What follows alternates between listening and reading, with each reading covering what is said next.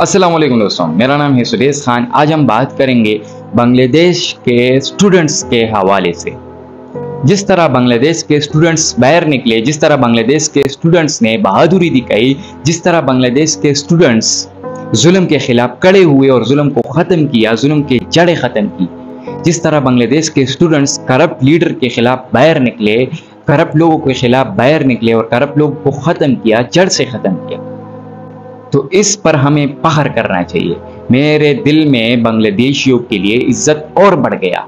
जिस तरह स्टूडेंट्स बाहर निकले ने ये नहीं सोचा कि ये इस पार्टी से है, वो उस पार्टी से है, ये इस सूबे से है, वो उस सूबे से है, ये इस तबके से है, वो उस तबके से है। सबने ये नहीं सोचा। सबने मिलकर एक बात सोची कि जुल्म के खिलाफ करप्शन के खिलाफ नाइंसाफ़ी के खिलाफ, रिश्वत के खिलाफ कड़े होना है और अपने मुल्क को ठीक करना है। यहाँ तक कि उन लोगों ने अपने मुल्क में जो है डस्टबिन तक लगाए। यहाँ तक के सड़क के किनारे जो छोटी छोटी दीवारें होती है, वो पेंट किया। तो वाकई में ऐसे स्टूडेंट्स ऐसे एहसास वाले स्टूडेंट जो अपने मुल्क को अपने घर जैसा समझे, जिस तरह हम अपने घर में कामें करते हैं, डस्टबिन लगाते हैं और पेंटिंग करते हैं, उसी तरह बांग्लादेश के स्टूडेंट्स ने अपने मुल्क में ही सब किया। तो इसी तरह मैं आप लोगों से रिक्वेस्ट करता हूँ कि आप लोग भी बांग्लादेश के स्टूडेंट्स को दे के उसी तरह आप लोग भी अपने हक के लिए आवाज़ उठाए। ये मत सोचे कि ये इस कास्ट से है, ये इस सूबे से है, ये इस पार्टी से है, ये इस तबके से है इस शहर से है। ये मत सोचे, बाहर निकले अपने मुल्क के लिए आवाज़ उठाए, अपने मुल्क के लिए एक हो जाए मुतहद हो जाए इंसाफ के लिए आवाज़ उठाए। आप लोगों को मैं रिक्वेस्ट करता हूँ बार बार करता हूँ कि ये बातें ख़त्म करें। कि इस सूबे से, इस टीम से है, इस पार्टी से है, इस लीडर को सपोर्ट करता है, ये बातें ख़त्म करें। एक आवाज़ मैं सुनना चाहता हूँ, एक आवाज़ के हक में आप लोग निकले कि अपने मुल्क का सोचे, एक मुल्क का, एक कंट्री का, एक आवाज़, पाकिस्तान। आप लोग निकले और अपने मुल्क को ठीक ठाक करें, ये बातें ख़त्म हो जाएगी, जो दिन ब दिन बुराइयाँ बढ़ रही है, दिन ब दिन जुल्म बढ़ रहा है।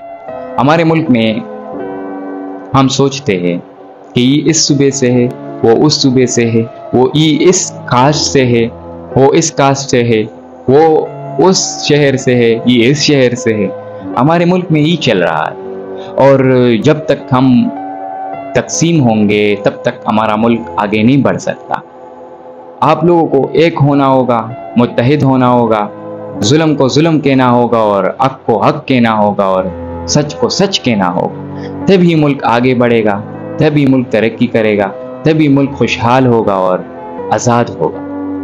बांग्लादेश के स्टूडेंट्स ने पार्टियों को नहीं देखा। बांग्लादेश के स्टूडेंट्स ने सुबह को नहीं देखा शेरों को नहीं देखा कास्ट को नहीं देखा।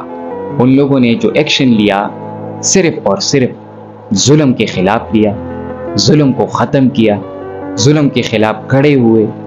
नाइंसाफियों के खिलाफ खड़े हुए और सारे निज़ाम को ठीक ठाक किया। डस्टबिन तक, पेंटिंग तक ट्रिपिक चार्जेस संभाल, संभाला। तो मैं रिक्वेस्ट करता हूँ सब लोगों से, सब अपने मुल्क से, पाकिस्तानियों से कि अपने हक के लिए खड़े रहे, एक साथ खड़े रहे और हक को हक कहे और सच को सच कहे। हिम्मत दे के कि इस पार्टी से वो उस पार्टी से, इस कास्ट से है, इस सूबे से है। सब अपने एक दूसरे को भाई समझे।